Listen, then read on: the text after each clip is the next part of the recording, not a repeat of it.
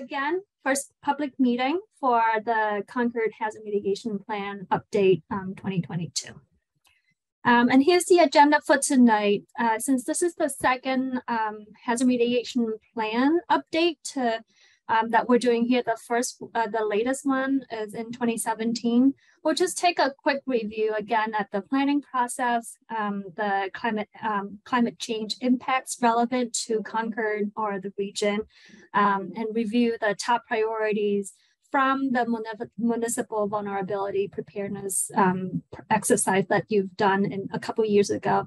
And then the purpose, the main purpose um, for tonight is to leave time for the communities to have questions, feedbacks, and suggestions so that we can bring that in and incorporate into this uh, 2022 plan update.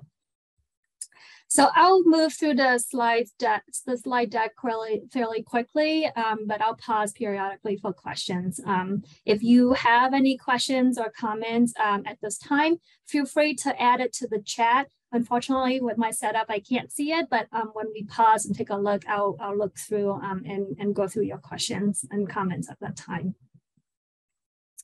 Great. So one more time, um, before we start, I would like to acknowledge the leadership of uh, the Town of Concord's local hazard mitigation planning team. Um, as you can see here, we have participation across many of the town's departments um, and planet and boards and committee. Um, and also special thanks to, thanks to Walter um, for really playing the, the point of contact and leading this effort from the town. And, um, and I should also introduce myself. Um, my name is Van. I am Van Du. I am Senior Environmental Planner at the Metropolitan Area Planning Council, um, MAPC. And um, we're very grateful to be able to support um, this planning project for the town of Concord. Okay, so just a quick background on the hazard mitigation plan and the work that um, the local team is doing. So the federal um, Disaster Mitigation Act was passed in the year 2000. It set um, a goal for all municipalities across the country to have um, a hazard mitigation plan. However, this is a goal, not an actual requirement. But FEMA does have a carrot um, for compliance, and that is um, that in order to be eligible for FEMA grants, both um, pre pre-disaster planning or post-disaster recovery, um, municipalities must have a hazard mitigation plan um, in, uh, in active mode, basic uh, status, basically. And the impetus for these plans was that across the country, FEMA was seeing the cycle of disaster, rebuilding, and then the same disaster, damage, and rebuilding again and again. And so the hope is that through these plans, communities can um, identify the cr critical assets, infrastructure, identify priority actions to help mitigate and interrupt this cycle. Um, and obviously, uh, disaster events are costly to towns and to the residents and often involve a lot of human suffering. Um, the latest we see is with the Hurricane Ian um, that is uh, wreaking havoc in, um, in the aftermath um, still in, in the Tampa Bay area or South Florida. And so um, we hope to analyze our vulnerabilities and address them before the next disaster. And so this is the exercise that we're doing um, in, in, this time this year. Um, a hazard mitigation plan, however, is not an emergency response plan. There's, there's a separate plan for that. Um, the hazard mitigation plan, or you'll, you'll hear me say HMP, assesses all the natural hazards and their level of risk and impacts to a community. Uh, there are different natural hazards to be considered. In its latest policy update in um, April this year, FEMA requires community to also take into consideration climate impacts. Um, this is not um, any any new new news for Concord really, because um, the town has been ahead of the game. It integrated climate change considerations into its latest plan back in 2017 and um, has done many different climate mitigation and resilience efforts since as well. Um, and so here are the hazard mitigation plan planning development steps. Um, I would say right now that the town together, the town has pretty much completed the first four steps of updating the hazards and, and critical infrastructure, um, identify existing mitigation measures and understanding the status of it. Um, this is, like, like, I said, the first public meeting. Um, we will have a second meeting um, in, a, in the upcoming week or month um, so that we can kind of talk through um, uh, the, you know, your feedback, incorporating that into the plan, um, get your suggestions for mitigation strategies that will be developed um, at later time in the, in the next couple of weeks. And here's a breakdown of, of the, the planning engagement process and schedule. So again, right now we're um, at public meeting number one. Um, we are soon to uh, organize the, the next local team meeting to take all these feedback and start drafting the plan. At the next public meeting in November sometimes, we will um, share out sort of the major findings and recommendations that will go into the plan update. And the uh, target is to submit this draft uh, plan to MEMA and FEMA um, for review in December. All right, so um, again, a quick review on climate change conditions and potential impacts to our region, to Concord specifically where possible.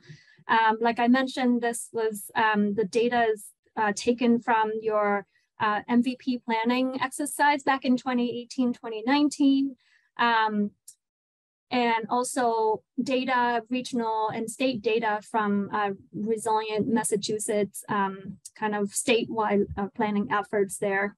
And so what we see here, um, similarly across the, the state, and um, you know, there'll be there are new rainfall patterns, more frequent and intense uh, precipitation volumes, um, and that is going to just increase um, over the, the uh, you know, by mid and end of the century extreme heat.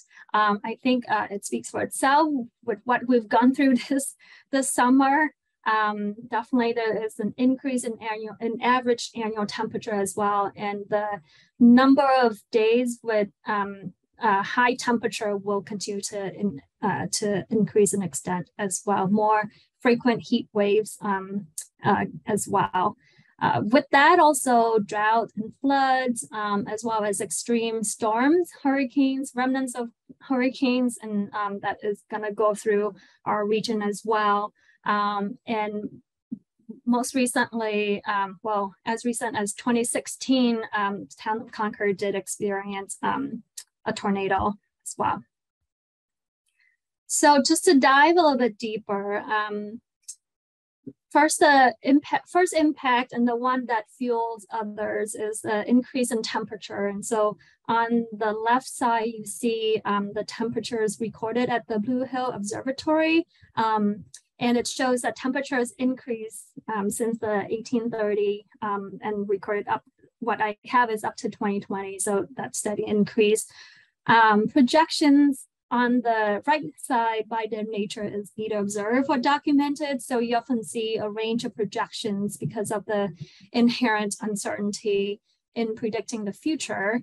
Um, but yeah, you'll see that there's usually the uh, low and high um, models usually show the low and high um, emission scenarios here so that you can see the potential for increase in annual average temperature for Middlesex County here by mid and end of the century.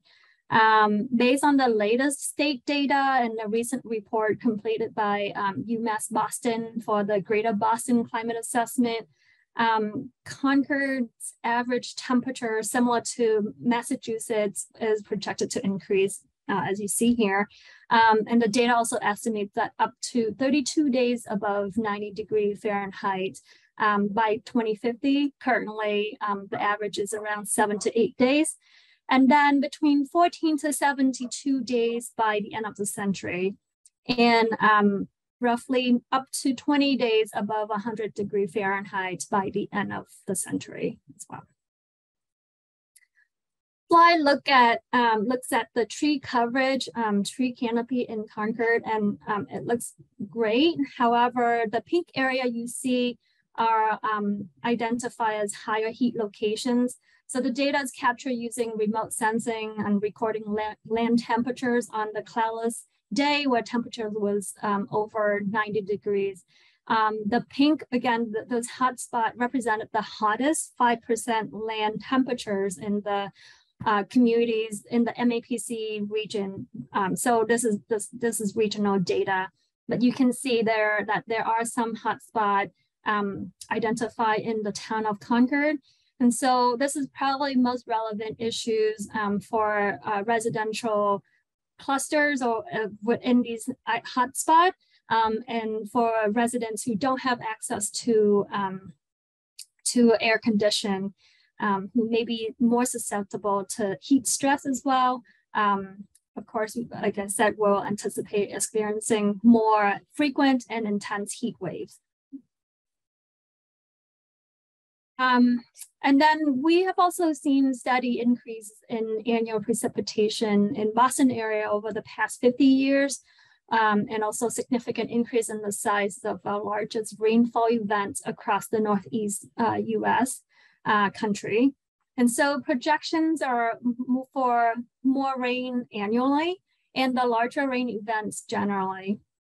Um, what you see the chart um, graphic on the on the left here um, is the projection for the a 10 year 24 hour storm so that is the largest 24 hour rainstorm that is expected to happen on average every 10 years. And this is just a figure typically used for stormwater calculations. Just wanna show you here. Um, and you can see that it's gone up from between 1960 to the latest data that we have in 2014. So, um, and the future rainfall projections was calculated for um, the city of Cambridge, but that's something that we can kind of use um, to, to um, uh, kind of use for comparison uh, across the region. One thing to note is that even though more rain is projected, it's also true that more frequent summer fall droughts are predicted due to the combination of early snow melt, slightly less rain in those seasons, and warmer temperatures.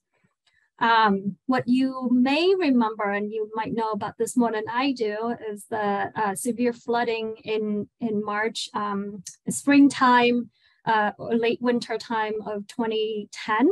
Um, and um, the Blue Hill Observatory recorded over 18 inches of rain in 17 days. Um, that flooding event led to a federal disaster declaration. And so that March 2010 flooding um, has been used as an example of the type of flooding um, predicted to occur more frequently as the climate warms. Um, that means extreme rainfall amount, falling in the winter as rain rather than snow. Um, and and um, it caused it's caused flash floods and flood intense flooding due to um, uh, saturated ground. Um, and so what we see here is um, the mapping of uh, claims, um, uh, flood insurance claims for that um, as a result of that March 2010 um, incident or event in Concord. Um, and it's mapped in, in pair with the FEMA 1% flood, uh, chance flood zone that you see here. So it highlights the severity of the stormwater flooding um, and also the reality that much of the flooding in urban and suburban areas occurs, can occurs outside of FEMA flood zone as well. Um, and you also know in the news recently, storms are happening, extreme storm event are happening not only more frequently, but more intensely as well. Um, again, other hazards for Concord to keep in mind include high winds, hurricanes, tornadoes. Um, the EF1 tornado hit the town of Concord um, in August of 2016, um, and it had the maximum speed, uh, wind speed of 100 miles per hour, according to the storm survey. And the damage left behind um, by the tornado was about a half mile long. And I uh, was able to find one of the image at the lower right corner here to kind of uh, show, visualize that, that damage, um, that implication. Um, yeah, so I'll pause quickly here before I move on um, to the next item to see if you have any question. If you do, feel free to um, unmute. Okay, I'll keep going and then we can come back for questions at, at, a, in a, a little bit as well. So now I want to show um, what uh, one of the tasks that the uh, Concord local te um, HMP team has been able to do is to review and identify critical infrastructure, looking at locally identify hazard areas, mainly flooding and fire risk. Um, and what we will also look at next is the anticipated future development location, putting all that together to better understand the risk. Um, and so what you see, um, the blue are um, flood, locally identified flood, flood, flooded area. Um, the red circles are where um, we've identified as high risk for uh, brush, fi brush fire. Um, yeah, so, and then what you see, um, oh, it's not map it here, but there are, um, and yes, the green dots are those critical infrastructure. So you kind of see how they're um, falling in um, into some many instances, especially with the clusters within those uh, identified local hazard areas. And here's just a snapshot summarizing some of the critical infrastructure and facilities um, and hazard area identified um, during our discussions to date.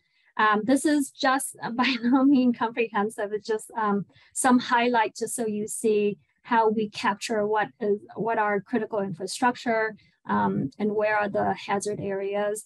There are approximately 140 critical infrastructure and, and facilities identified in the town uh, and approximately 53 um, hazard areas, mainly flooding and some brush fires. Um, one thing I would like to note here um, is also given the history and, and the wealth of culture in Concord, we also capture the cultural resources um, uh, that we need to pay attention to um, to protect, um, you know, to protect them. And, and, then, yeah. One of the questions was, what are the numbers on the maps? Uh, on the map you just had up there? Yeah, so the numbers are just the ID, the IDs of the different critical infrastructure um, and facilities that I will list here.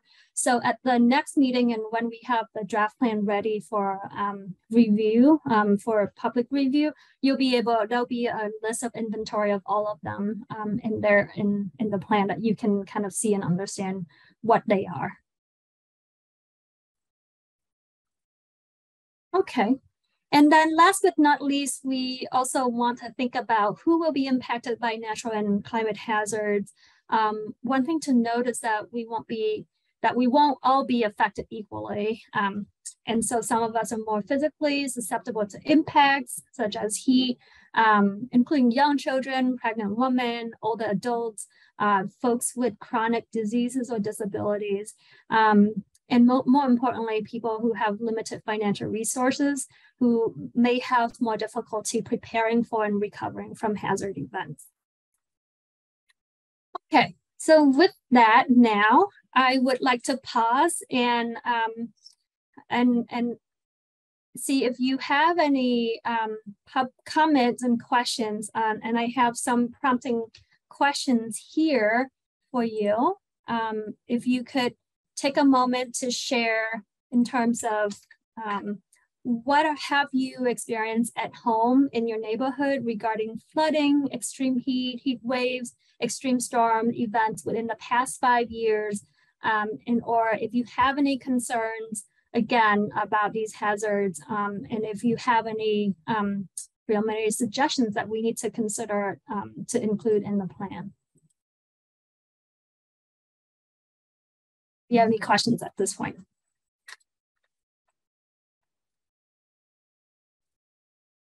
see if anyone put it in chat.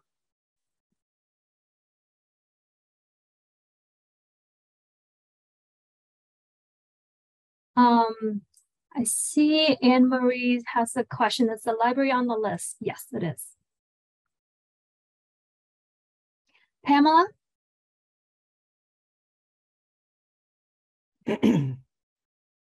Hi, Pamela Dritt, 13 Concord Green, Unit 4.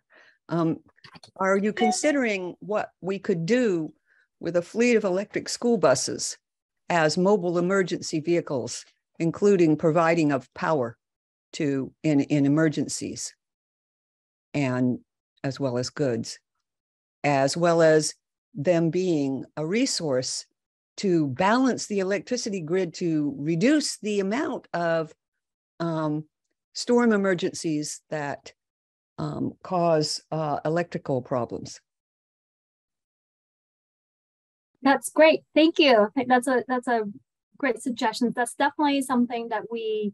I know Concord had done um, a climate action and resilience plan too, and there are um, uh, priority actions related to energy um, and energy resiliency in there. So that's definitely definitely something we will draw. Um, and that's exactly it, like thinking of um, that type of mitigation measures to help kind of uh, prevent, um, you know, the, the severity and impacts of, of, so I definitely will note that and include that as considerations as the team work together on, on mitigation measures. It would help uh, make us a stronger distributed grid to have that kind of vehicle to grid battery backup yeah. uh, school bus fleet, as well as save our kids' health because yeah. there's nothing dirtier than a diesel school bus. Definitely very strong synergy between the mitigation side, reducing carbon emissions, but also increasing our energy resiliency, security, and, and storage, and, and all of that. Thank you. Anyone else? Do you have any concern? Have you experienced um, flooding um, or, or things like that within your neighborhood, in your area? Um,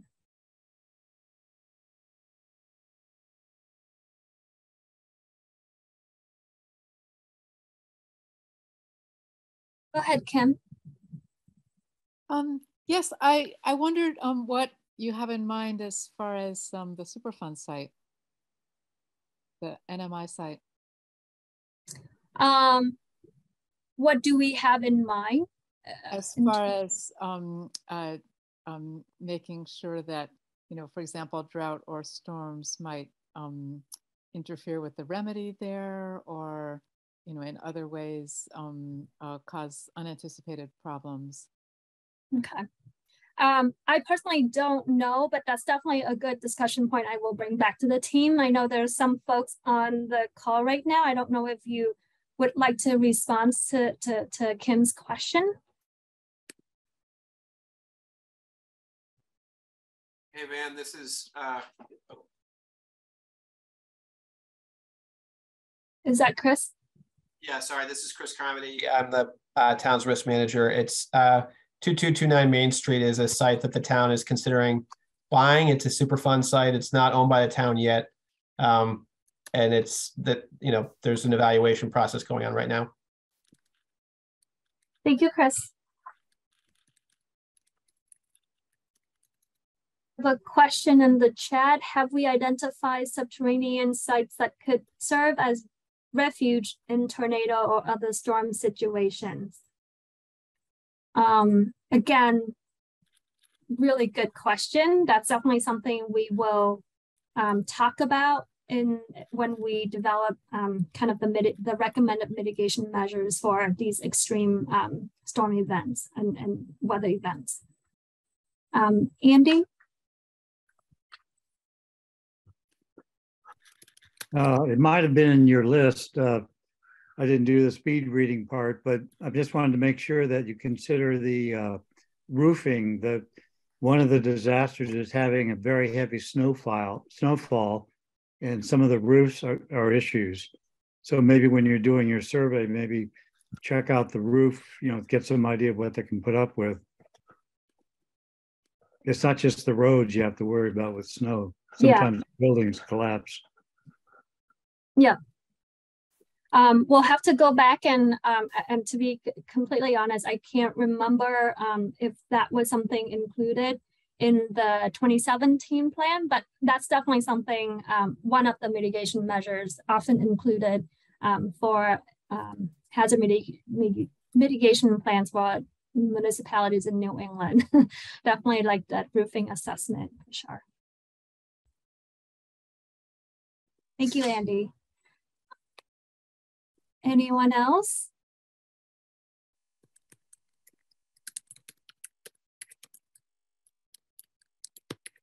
All right. Well, keep thinking about it um, between now and the the next this next um, three or four weeks. If you you know after this meeting, if if something comes up, if you think of something, um, please do not hesitate to reach out. And, and I have my contact information at the end as well. So I'm gonna keep going a little bit and, and hopefully to get um, you folks out of here early. Um, and so you may be questioning what or feeling that we have done something like this before. We have been doing climate vulnerability assessment. Um, and you're right, you have been um, in Concord. There's a similarity between the vulnerability uh, Municipal Vulnerability Preparedness Program, um, which is a state program that Concord is participating in. Um, and this hazard mitigation plan is a, a, federal program. So it really set the town up for great success and also for, you know, pursuing grants both at state and federal level.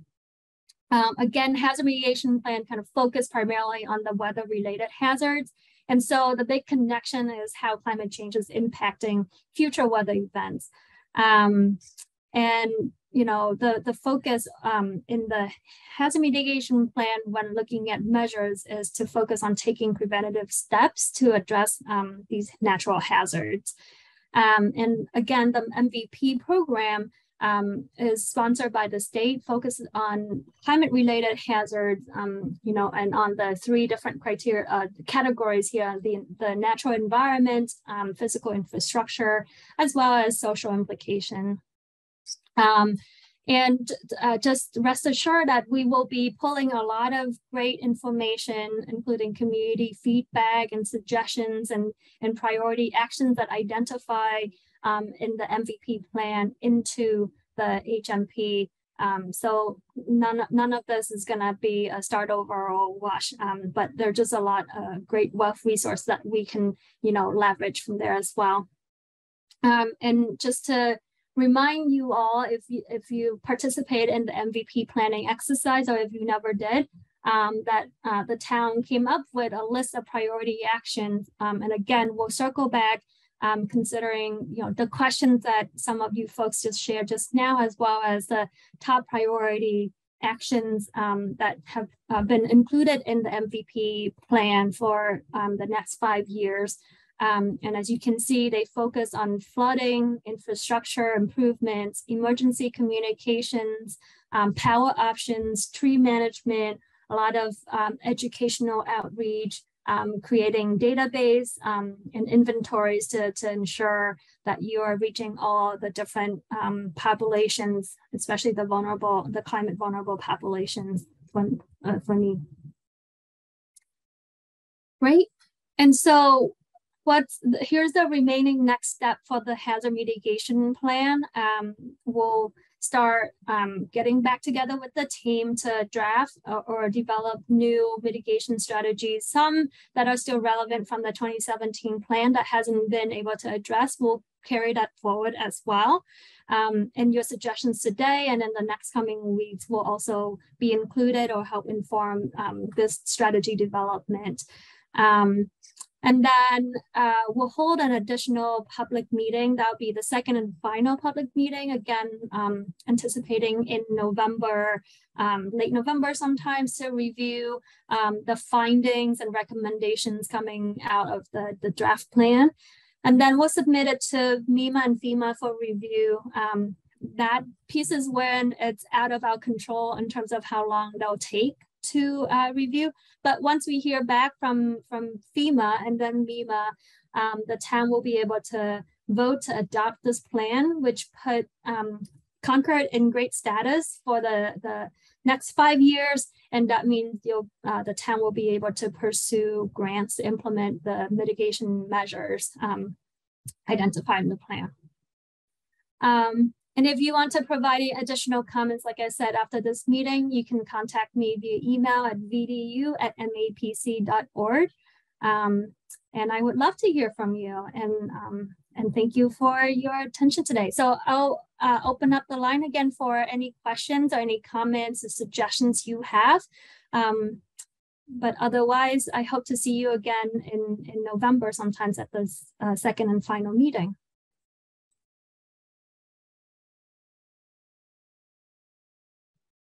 I have a question. Yes, Eric. so, um, uh, you know, as mo most are probably aware, uh, New England is probably the, one of the least energy resilient parts of the country.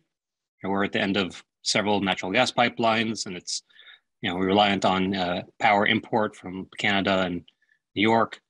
And so, I guess my question is, um, given those lack of energy resources, uh, what are the plans, or what can we possibly do to um, you know, handle really, really long cold spells. You know, we almost had rolling brownouts during the the uh, bomb cyclone in 2019. Um, and uh, you know, what can we do to, particularly you know, in, in the wintertime, in the event of a long duration power outage, um, right? That our, our, options are really limited, and I, I, guess the question is, you know, what can we possibly do, know, given given what I see as one of our main vulnerabilities. That is a great question, and I would say a million dollar question.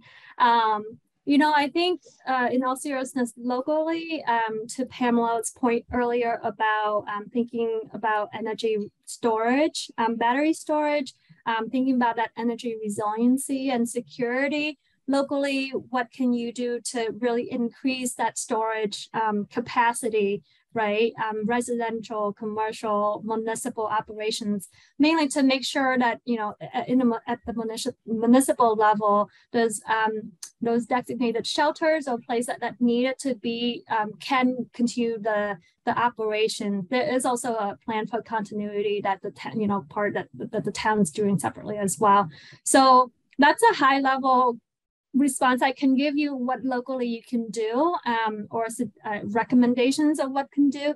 Um, but at the same time, uh, I am also hopeful that, you know, the state is um, has just released and or is uh, going to release soon the clean energy and um, climate climate and clean energy plan, where they're really looking into you know, um, priority actions to really curb, not only curb the, the carbon emissions, but also really, um, you know, looking into policies and programs to really strengthen um, the grid um, and, and, and working with utility companies, working with another state agency, DOE or energy resources to really, um, uh, you know, secure, increase our, our energy security and, and resiliency that way. But uh, you're on you're right about um, you know that to be concerned about that.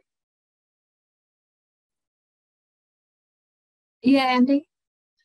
Uh, on, on your long list of natural disasters, at the bottom you had earthquakes, and I had to notice there was an asterisk there. Uh, could you explain what that is? And uh...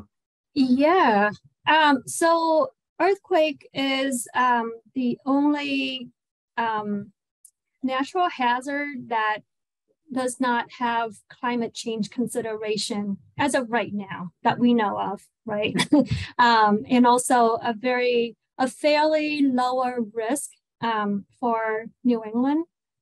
As I say that, I also remember there was um, an earthquake more down in Virginia, DC area that we felt an impact up here, but it is considered, you know, among the list of priority um, of hazard. It's it's lower on the on the totem pole. Um, so that's why that was one point that I meant to make and I forgot to. So thanks for the reminder. Hmm. I guess the related question is um, when we're looking at these different hazards, right? many of them have similar types of effects, right? They knock down power lines, they damage infrastructure, they, you know, pollute water purification systems. Um, I guess what duration of outages or what duration of impacts are we looking at, right? You know, traditionally um, power plants keep fuel for a few days. Um, hospitals are required to have diesel fuel for three days of operations. But if you look at, let's say, Puerto Rico or you know the west coast of Florida, um, right, they're seeing outages of weeks, if not months. And so, you know, the uh, main question is what what duration of outage um, and what you know period of restoration are, are we planning for, given that you know the the traditional rules of thumb really don't apply anymore in terms of uh, preparedness. Um, I don't want to put Walter on the spot, but I think you, as an emergency response responder, might you have an answer to that, Walter? like, what is the rule of thumb? Well, Eric, thank you very much uh, for that question. Uh, actually, I'm currently right now in Florida, uh, the state of Florida, helping out with those uh, disaster and relief efforts. And I was also uh, spent 19 days in Puerto Rico. I can tell you this right now. Uh, one of the things that happens is you just mentioned uh, hospitals. A lot of a lot of things are requesting resources, and the state state of Florida, who is I thought very prepared for this, could not keep up with those resource demands. Everybody's asking for fuel. Everything's asking, everybody's asking for generators. So it's very difficult. However, one thing I, I would say is that part of it is we're planning for that. This, this is the conversations we're, we're doing uh, internal and ex external stakeholders. We're reaching out to them, asking them for their input. There's been some valuable talk here. Um, but at the same time, we do have some local resources, near our Council, uh, they have generators. So if it was an isolated uh, event here in Concord, uh, we could handle that to some degree. But if you're talking a, a statewide uh, event, that is going to require MEMA and FEMA uh, to assist us with that. Uh, you're very fortunate, myself and the fire chief uh, have the credentials and, and, and, understand that. And we have, a, uh, during COVID, we uh, acted as the emergency operations center. We, we made an EOC and we brought all of our department heads in. So we have trained for that to some degree and we have seen the tornadoes. So, but some of large scale, I'll be honest with you, it, it's going to be a tax. It's going to, it's going to burn the, uh, the entire system. So. I guess one thing I would offer is um, I, I, lead a group at MIT Lincoln Lab. We do actual power outage exercises for the Department of Defense, and we've we've been heavily involved in large scale exercises. Uh, I also deployed to Puerto Rico for about a week after the the disaster there back in 2018. Um, so I'd be happy to to uh, to help out in in some way if if it's interested actually, Eric, it's funny you say that we're having Mass Maritime uh, do a, uh, a tabletop exercise with actually that thing. We're, we're going to do an outage for CMLP. So I would actually love to hear you. You can reach out to me. Uh, please email me. I would love to, for you to have some of that uh, input on that, on a, uh, a brownout, if you want to call it. Very good.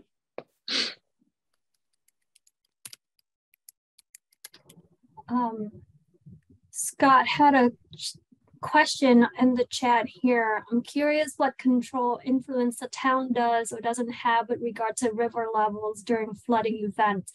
Um, for example, upstream, downstream dam management, exactly. Are there emergency measures that can be put in place during extreme events? Um, I don't know. I can't speak to the emergency uh, emergency measures. I assume yes in their emergency response plan.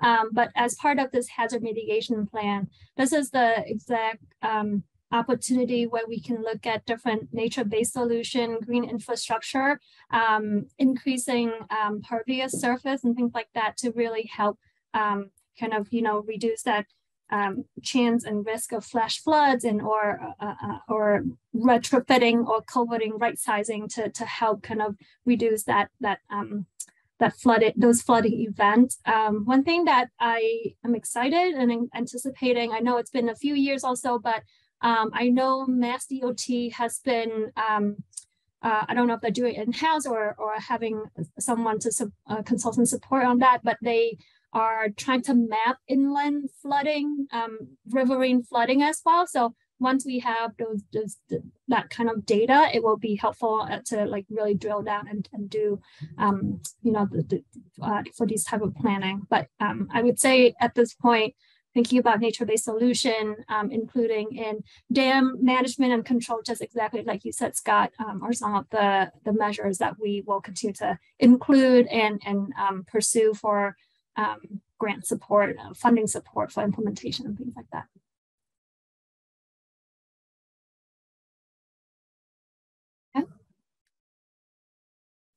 Any other question? Kim? Oh yeah, Kim. Yeah. Um, if you wouldn't mind taking the time, um, I live right on the border between Acton and Concord, so hazards from both sides are pertinent to me. Uh, would you be willing to take the time to review just in the last five years what um, uh, mitigation measures Concord has taken and have um, has Concord had any of these um, grants from um, the hazard mitigation um, program that were that the town is now eligible for for the last five years?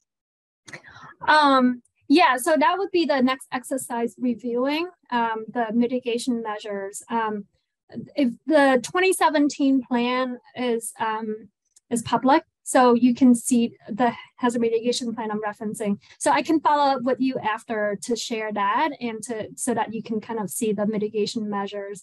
Um, in terms of uh, whether the different grants pursued, that's something I can look into as well um, with FEMA database. Okay, yeah, so I've, I've actually taken a look at the um, at the Concord 2017 plan, but I just wondered what of that has been done since. But um, that would be great. I'll I'll email you separately. Yeah. So part of um, the next step is that um, we'll review kind of all the different mitigation measures that have been included in the 2017 plan, and and that's where we'll learn also what has been done. Um, we started that too, but that um, you know, but it hasn't been completed. Um, and what needs to be reprioritized and or move forward into the, the this 2022 plan. So at the next final meeting, um, that's something I can speak to then. Thank you. Thanks.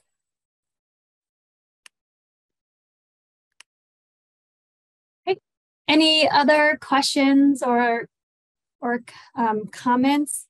Um, if not, I can let you out 15 minutes early um, to enjoy the rest of your evening. Again, thank you so much for your time um, to join us today uh, and provide your comments and have your questions. They're all great and that's something I will uh, look forward to reporting back to the local team and discuss at, at our next meeting. Have a good night.